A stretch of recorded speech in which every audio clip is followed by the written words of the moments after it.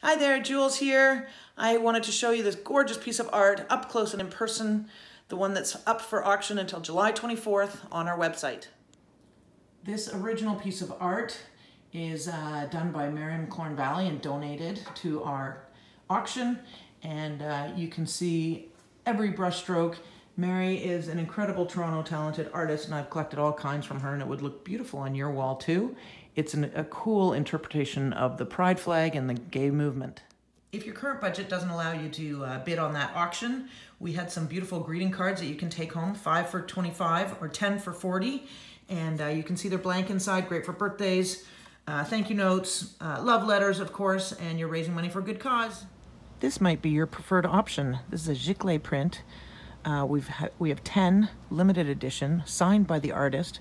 It's actually printed on canvas, a replica of the original, and it looks so cool and so real, and it's actually been touched up by Mary McLorn Valle herself, and uh, it's, it's, it's a good one. It's only $250, and you're raising money for the Inside Out.